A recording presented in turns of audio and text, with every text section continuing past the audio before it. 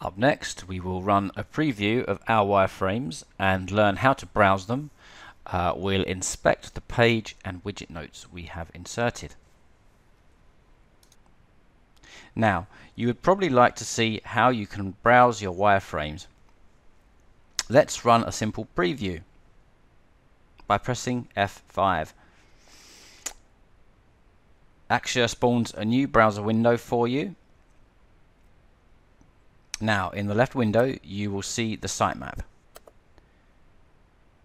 This is how you would navigate a wireframed project, clicking like so.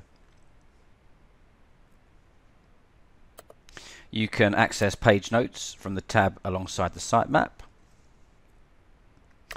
And widget notes are accessible via the small note icon uh, attached to the relevant widgets. And now you know how to create static wireframes.